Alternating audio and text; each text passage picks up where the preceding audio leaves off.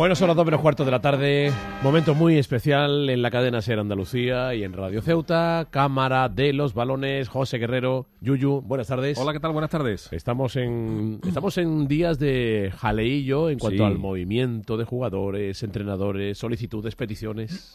Bueno, y es que esto ya va cogiendo forma, ¿no? Es que la Eurocopa acaba de terminar hace escasamente cinco días. Hoy se ha sorteado el calendario de Pero la claro, ya primera se ha división. hoy el calendario de la primera división, el de segunda hará, lo hará esta tarde, a partir de las 5 de la tarde.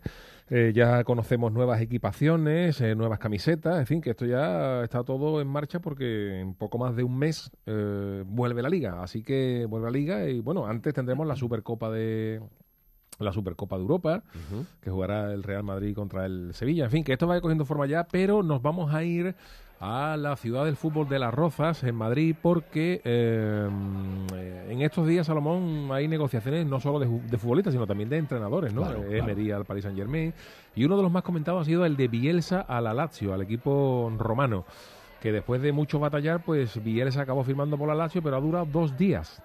Y al irse, eh, Bielsa ha dicho que es que él había pedido unos futbolistas que no le había traído ninguno de los que pidió el club. Y el presidente del club eh, ha dicho que las exigencias de Bielsa eran para echarle de comer aparte. Uh, Tenemos a Limi en la ciudad del fútbol de la Roza. Vamos a hablar de este tema. ¿Qué tal, Limi? ¿Qué tal? Saludos cordiales a todos desde la ciudad del fútbol de La Rosa, donde hoy ha salido el calendario que ha contado muy bien Florencio con Ronquillo y que pero no ese no ese calendario que regalaban en los talleres, ¿no? Con una sugerente muchacha con menos ropa que el ropero de Tarzán, ¿no? Eh, que esas cosas ya se han perdido, además, porque ahora con tanto destape en televisión y en internet, lo que de verdad nos pone a los hombres es una mujer vestida, ¿no? Pero bueno, dejemos el tema. Y mientras esperamos el almanaque de la liga, porque han salido los partidos, pero nos tienen que dar físicamente el, el almanaque para que nos lo llevemos a nuestras redacciones, voy a aprovechar ¿no? para hacer un sondeo entre varios entrenadores, porque efectivamente han levantado, como bien has explicado, mucha polvareda la exigencia ¿no? del loco Bielsa para fichar por la Lazio, ¿no? Ojo que estas han sido algunas de las, de las peticiones del loco Bielsa, al que el apodo le viene bastante bien porque el tipo ha exigido cosas. Después decimos que los que los artistas de, de música, que los cantantes de música... Sí, que, que- que no hay que hacer Mick Jagger, ¿eh? Nada, nada. ¿Qué, qué es lo que había pedido Marcelo Bielsa? Atención a esto, pero esto es absolutamente verídico. Apártenlo si quieren de la parodia porque eh, billetes de avión en primera clase a Argentina para cinco personas. Y en el caso hay una cláusula que si la suegra quería también volar, que fueran seis, ¿no? Ahí hay Pero una de, letra pequeña. ¿De ida y vuelta o de ida nada más? El de la suegra es de ida, Ah, vale. ¿entiendes? Pero los demás vuelven porque es su equipo Vale, vale. técnico. No, yo pregunto, ¿eh? Que no sé... Cinco teléfonos móviles, Sí, cinco teléfonos móviles con sardo, claro. cobrar en dólares Sí. y que el club asumiera los posibles cambios de tributación que hay en Italia. Si tú estás tributando al 32% y la tributación sube al 51% para los deportistas de élite, como por ejemplo en España, Sí. ese restante, esos 19%, lo tiene que asumir Italia, el país italiano que tiene que asumir como contribuyente esa tributación de Bielsa y nunca, en ningún caso Bielsa, al igual que la diferencia en el dólar. Si el dólar Claro. está hoy más caro que mañana, la diferencia siempre a favor de Bielsa. Bueno, una cosa, una absolutas barbaridades, ¿no? La, cabeza que tiene Bielsa.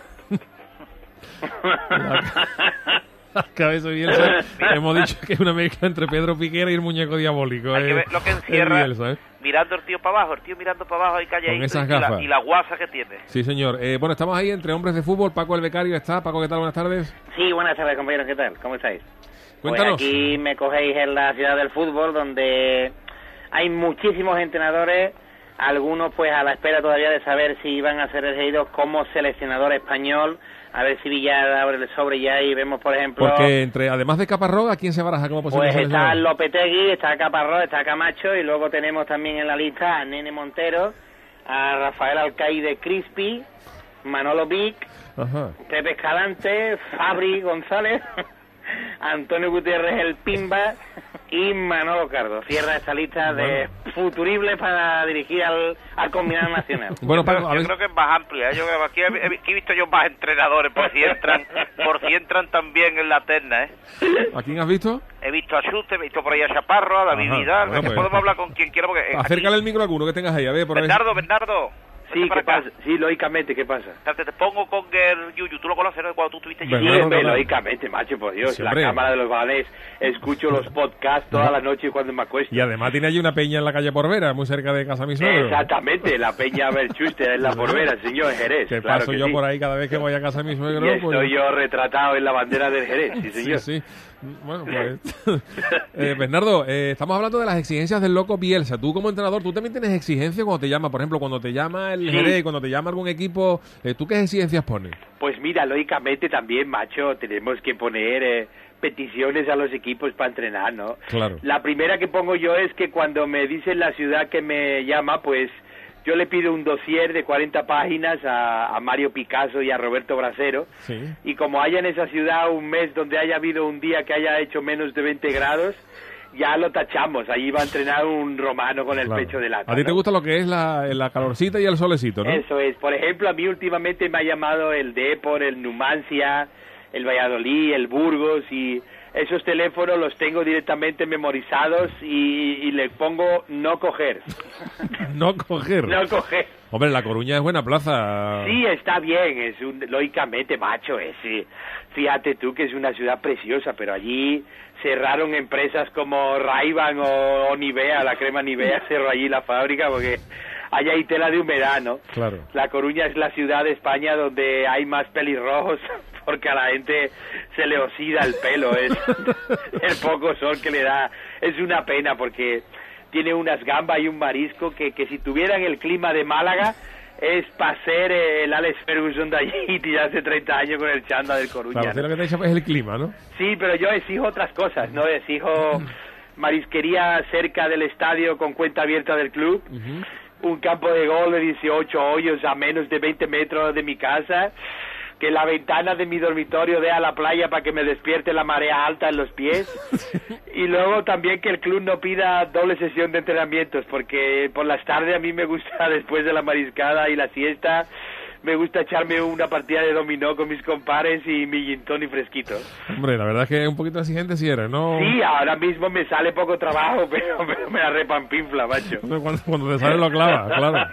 Hay que me quiten lo bailado. A ver, tenemos ahí a Paco el Becario con otro hombre, ¿no? Así es, compañero. También está aquí David Vidal, que su último escarceo con los banquillos le fue fatal con el Guadalajara. Fue en un juicio, fue en un juicio. para salvarlo y el Guadalajara pegó un carajazo de, ingentes dimensiones. ya estamos, ya David Vidal, ¿qué tal?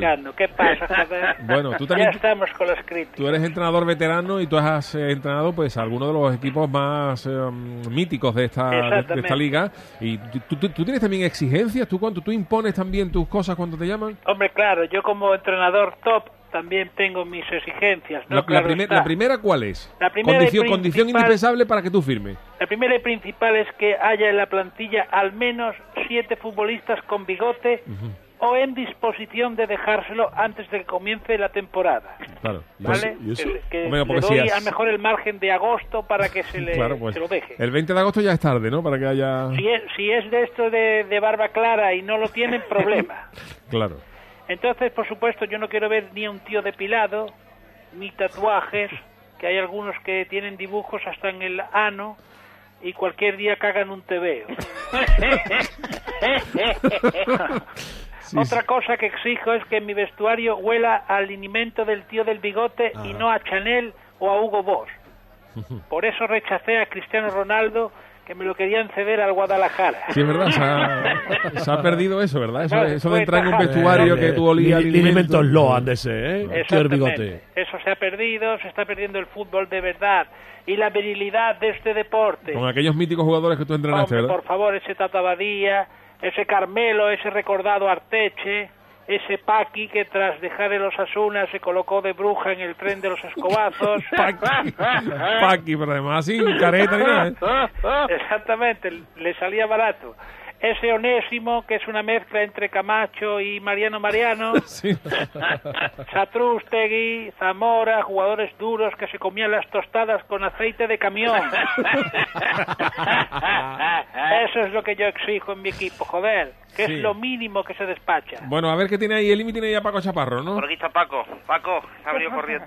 Buenas tardes. Buenas tardes, Paco. Oh, mira, yo vengo de hacer mi, mi jornada matinal Oye, he ido a la ciudad de La Rosa con un cuñado mío que es electricista Ajá. para ir tomando contacto.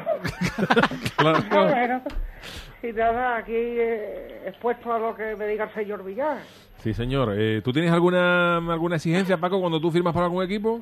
Sí, mira, yo al Cádiz le dije que los jugadores eh, ju- vivieran todos juntos en la ciudad de Las Cabezas Ajá.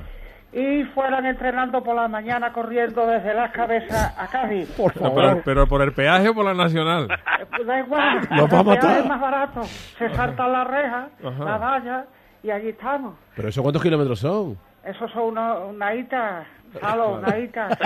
Ole. Oye, ¿te- ¿te ha traído algo, te ha traído algo para cantarle a Villar, no? Sí, mira, eh, una de las cláusulas que yo le voy a poner es que me supongo que lo permitirá una sevillana del Pali durante los entrenamientos. Y el resistiré también de, de ergodinámico. Vamos a escucharla, Paco. cantar una sevillana del Pali. Venga, vale, mono. Venga. Se abarrozaba en la playa y lo llamó a Gervillar.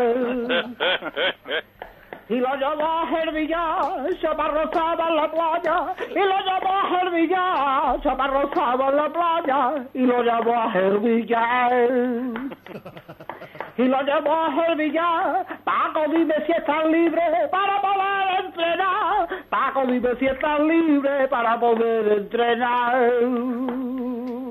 Paco se puso nervioso, tiró el móvil en la arena, salió para Madrid pitando y antes de colgadilla, el tío estaba entrenando.